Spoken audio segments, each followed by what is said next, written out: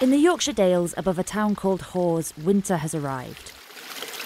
By the time spring comes, this hillside will be covered in the shoots of new residents. So this is one of the young trees that we've planted here on, on site. Um, and it doesn't look like much now, um, but given enough time, um, this will this will kind of grow into a, a fully fully healthy sapling. Discreetly planted all around are tens of thousands of saplings that will grow into one of England's biggest new native woodlands. In a few years, this entire area will be a patchwork of trees, peat bogs, grassland, and heathers. But while that might all sound idyllic, this project isn't about restoring beautiful landscapes. It's about stopping flooding in the valley below. So we're in Snaizeholme, it's a valley in North Yorkshire. Uh, it's one of the wettest places in England. Um, receives about two metres of rain each year. Uh, a lot of that falls in these really big winter storms that, that we get. And that causes big problems for people living downstream. Um, there's big flood risk. And unfortunately, we know with climate change, those are going to get even more frequent and even more extreme in the future. It takes about two days for heavy rain on the tops to turn into flooding in York, but for the people at the bottom of this hillside, the effect is more immediate. Within a day of heavy rain on the tops, Jill's ice cream shop is usually forced to close. It used to be perhaps once or twice a year, probably sort of March and November, but this year in particular, we've had four floods already. Oh, wow. Yes. That's why there's scientists up in the hills.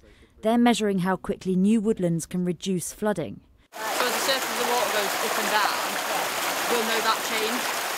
The experiments they're starting now will run for 20 years. It's the biggest piece of scientific research ever undertaken on English uplands.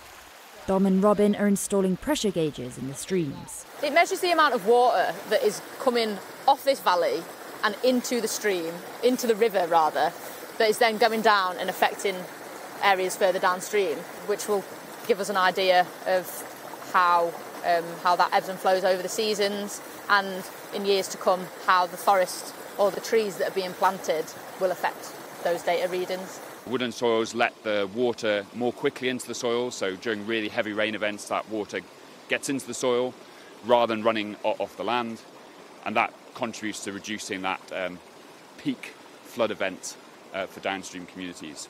So in the grassland here we can see this lovely stag's horn fungus. And it's not just the streams that are getting poked and prodded.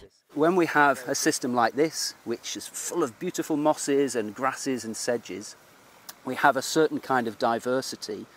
When we bring in trees, there's also going to be different plants, so different sort of types of plants. And that's really important because in the face of things like climate change, when you have a greater diversity, it's possible that you also have more resilience to climate extremes. In September, the government announced £25 million of funding for projects that use nature to increase our resilience to flooding.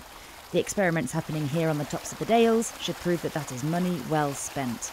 Mickey Carroll, Sky News.